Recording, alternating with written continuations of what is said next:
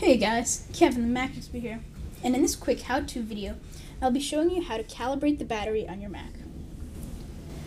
So what this process does is, it's called calibrating your battery, but it's basically draining the battery and then recharging it, and this gives you a more accurate reading of how much battery power you have left, and it also ensures that you get the longest battery health, the highest battery health, and longer life for your battery. Longer life meaning as in more recharge cycles on the battery. So I'll go ahead, and this is Apple's support page.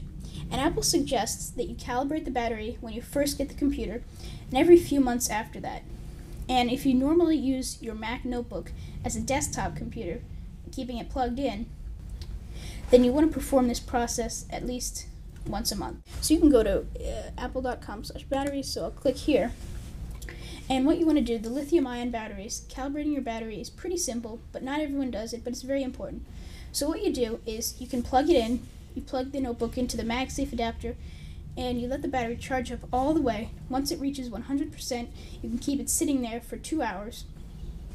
And then you just drain the battery, unplug it, keep the computer running, and drain the battery.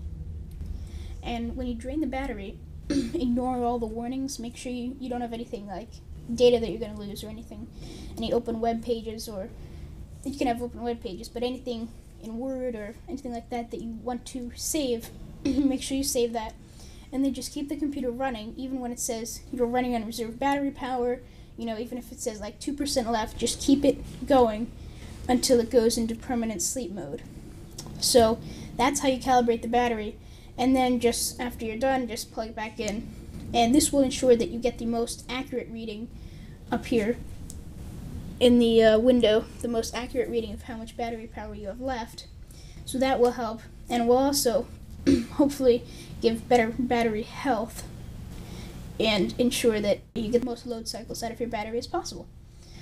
So guys, uh, Kevin the Mac Expert, this has just been a quick tutorial how-to video showing you how you can calibrate the battery on your Mac for the best performance on your battery.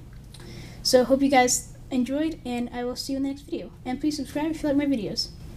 I'll see you next time. Bye-bye.